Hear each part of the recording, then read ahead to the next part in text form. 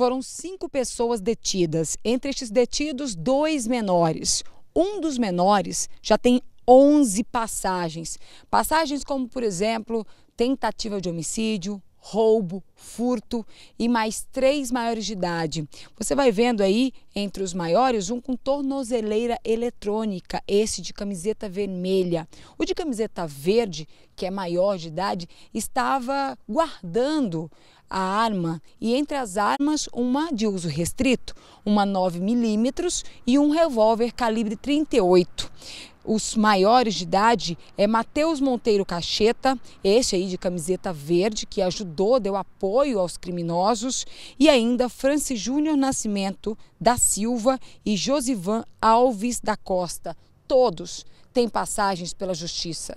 De acordo com a polícia e também revelação até dos criminosos, este menor que está de costas agora de camiseta preta, ele tinha uma dívida com uma pessoa que está detida no sistema prisional em Aparecida de Goiânia, dívida de drogas. E esta vítima aqui de fora também outra dívida com este mesmo detento. Então, esse detento, via celular, que entra com tanta facilidade nos presídios, determinou a morte deste homem, que fosse rápido, logo. Inclusive, é, de acordo com os criminosos, isso deveria ter acontecido há cerca de uma semana, mas eles não conseguiram encontrar a vítima. Mas na última noite, sim.